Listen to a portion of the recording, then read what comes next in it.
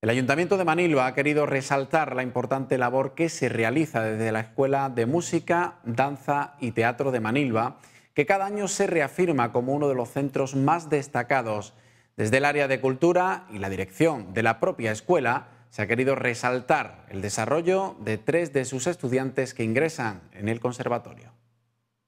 La Escuela de Música, Danza y Teatro del Ayuntamiento de Manilva reúne a decenas de personas cada año de todas las edades para aprender y disfrutar de estas artes en distintos escenarios. Su prestigio trasciende de nuestras fronteras y está considerada como una de las escuelas más exitosas a la hora de completar un programa didáctico con excelentes resultados a lo largo de muchos años. El desarrollo académico del alumnado se ve plasmado también en numerosos actos de los que pueden participar activamente los vecinos de nuestra localidad.